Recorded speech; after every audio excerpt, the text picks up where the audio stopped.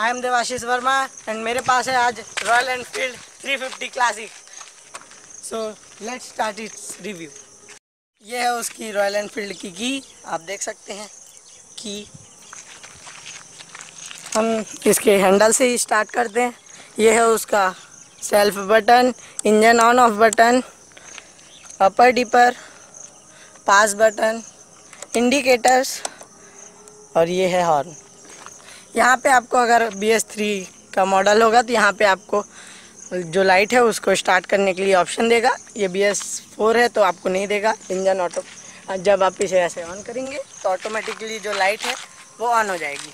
अच्छा इसका इंजन का सी सी है three fifty actual C C है इसका three forty six C C इसका सैलेंसर आप देख सकते हैं काफ़ी बड़ा है। तभी इससे जो है आवाज़ है वो, आती है। ये है उसका टेल लाइट टेल लाइट काफ़ी छोटा है, आप देख सकते हैं। Gold round and indicator see this the light is on चलिए, अब यहाँ पे आपको मिलेगा 350 क्लासिक आप देख सकते हैं। ये है इंजन फ़िल्टर, जो इंजन फिल्ट्रेट करेगा, आपका इंजन जल्दी स्लो करेगा। और इसमें आपको दो दो चॉइस मिलता है। आप अगर सेल्फ स्टार्ट लेना चाहे तो वो भी है, या फिर ये आप यूज़ कर सकते हैं। अगर आप आगे आए तो आगे है एक बड़ा सा गोल सा लाइट चलिए इसे ऑन करते हैं। अच्छा हो सी, लाइट ऑन हो जाते हैं। ये दोनों छोटे लाइट भी उसके साथ दिन भर जलेंगे अगर आपका बी एस फोर है। इसके इंडिकेटर्स हाँ जल्दी ही रिएक्ट करते हैं। इसका इंडिकेटर तो हो गया। इसका है अब अपर डिपर ठीक है। पास लाइट हाँ पास भी ठीक है। इसका हॉर्न काफ़ी लाउड है। दो दो वो दिए हैं आपको। चलिए अब इधर आते हैं। इस साइड के आपको, में आपको मिलेगा ये सब equipment first aid kit and tool kit चलिए, आगे बढ़ते हैं।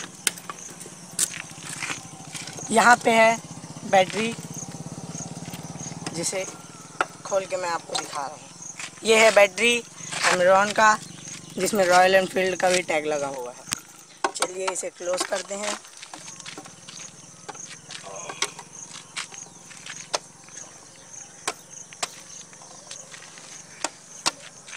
चलिए। ये हो गया क्लोज और ये तो हो गई इसकी खासियत। अब आपको इसकी बुराइयाँ बताता हूँ।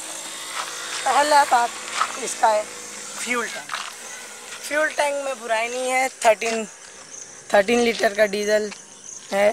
लेकिन इसमें जो इंडिकेटर है पेट्रोल का, वो नहीं दिया है। जो सबसे बेकार बात है। अगर आपका पेट्रोल कहीं ख़त्म होने वाला है तो आपको पता नहीं चलेगा। कहीं भी इसमें इंडिकेटर भी नहीं दिया है पेट्रोल का, ना कुछ। तो आपको इस बात का प्रॉब्लम हो सकता है। एक है सेकंड है B S four B S four तो अब सारी गाड़ियों में आता है तो मैं क्या बोल सकता हूँ? ये दोनों बुराइयाँ मुझे अच्छी नहीं लगी। आप तो आप देख सकते हैं। इसमें, देखिए, इसकी एक और खासियत, मैं आपको बताना भूल चुका था। इसमें यहाँ पे भी सौगप दिया है और पीछे सीटर के लिए यहाँ पे। और अगर आप इसे मेन स्टैंड में डालना चाहें तो यहाँ पे होल्डर भी दिया है। चलिए गाइस अब इसकी थोड़ी राइड लेकर देखते हैं। ये मैं इसका चलिए तो इसे हम ऑन करते हैं।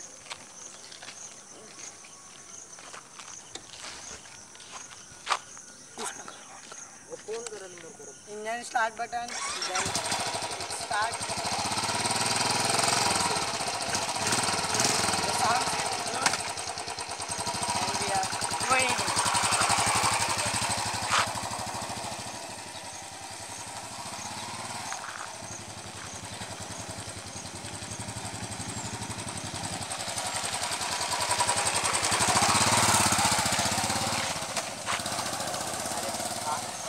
Thank you.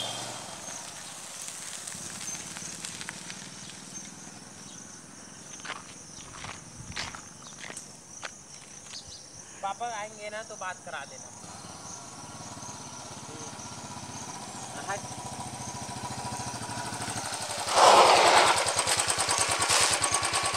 तो गाइस जैसा कि आपने देखा, मैंने इसकी टेस्ट ड्राइव ले चुकी है। ये चलाने में काफ़ी स्मूथ है। और अगर आप इसमें लॉन्ग डिस्टेंस ट्रैवल भी करते हैं तो आपको कोई प्रॉब्लम नहीं होगी।